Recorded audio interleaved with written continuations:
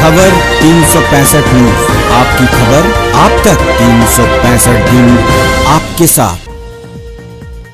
श्री रामचरित मानस पाठ सह नौ दिवसीय नवाहन परायण यज्ञ का शुभारंभ। मुख्य अतिथि शामिल हुए स्वामी देवेंद्र प्रकाश।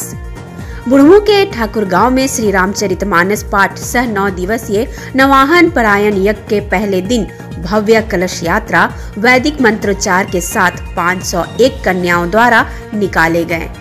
इस कलश यात्रा में भाजपा के वरिष्ठ नेता स्वामी देवेंद्र प्रकाश जी, उपाध्यक्ष पार्वती देवी, शिक्षक अखिलेश चतुर्वेदी, कांग्रेस पार्टी रांची जिला अध्यक्ष सुरेश बैठा, आजसू नेता रामजीत गंजू, समाज सेवी मोहन जायसवाल डॉक्टर मदन महतो, मुखिया सत्यनारायण मुंडा सहित सैकड़ों बुद्धिजीवी व क्षेत्र के प्रबुद्ध गणमान्य लोग शामिल हुए। इसके पूर्व वैदिक मंत्रोच्चारण के साथ मानस, कोकिला शिव कुमारी देवी, स्वामी देवेंद्र प्रकाश, पार्वती देवी सहित अन्य अतिथियों ने कलश वितरण कर कलश यात्रा का शुभारंभ किया। भक्तिमय माहौल। जय श्री राम और जय माता दी के जयकारे व गाजे बाजे के साथ आयोजित कलश यात्रा में शामिल कन्याओं ने नगर भ्रमण कर पुनः पूजा स्थल पहुँचे और कलश को स्थापित किया, जहाँ कई धार्मिक अनुष्ठान सम्पन्न किए गए। संपूर्ण यज्ञ कार्यक्रम यज्ञ कमेटी के सभी पदाधिकारियों व सदस्यों के नेतृत्व में किया जा रहा है। वहीं यज्ञ कमेटी के सदस्य विपुल कुमार तिवारी ने बताया कि नौ दिनों तक जगराता के साथ प्रवचन किया जाएगा और मंदिर कमेटी के सहयोग से संध्या बेला में भव्य भंडारे का आयोजन होगा।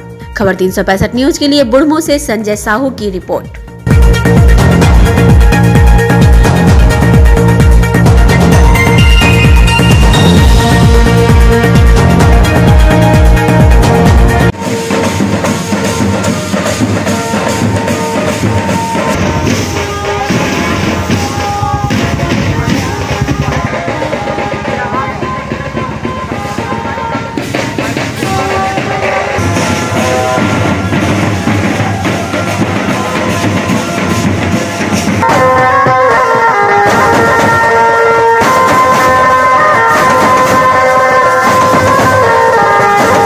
देखिए, हम लोग ये ठाकुर गाँव क्षेत्र है। ये बुढ़मू प्रखंड के ठाकुर गाँव बाज़ार तड़ में ये मंदिर जो दिख रहा है, आपको शिव मंदिर है।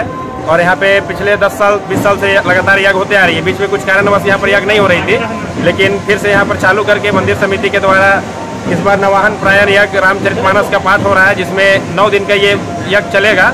आज पहला दिन हम लोग कलश यात्रा के साथ ये यज्ञ को स्टार्ट किया जा रहा है यहाँ पर। और लगभग 500 हमारे महिलाएँ बहन, माताएँ बहनें हमारे 500 कलश यात्री में शामिल हुए हैं कलश यात्रा में।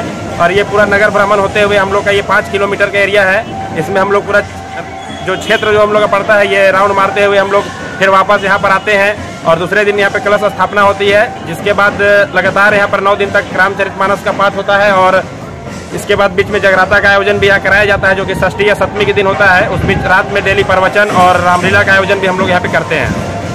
ये जल का उठाव कहाँ से होगी? जल का उठाव जस्ट हम लोग के जो मंदिर है मंदिर के सामने से तालाब है या तालाब से होता है या तो फिर हमारे क्षेत्र में एक नदी बहती है एक ऐसी महादेव यहाँ से तीन किलोमीटर दूर वहाँ से हम लोग जल उठा करके लाते हैं। भंडारा का भी आयोजन है। भंडारा का आयोजन प्रतिदिन संध्या शाम को रहता है जो कि मंदिर समिति के सहयोग से ही ये चीज़ हो चुका है प्लस पूरे ग्रामीण हमारे हमारे सहयोग करते हैं हम लोग इस यज्ञ में।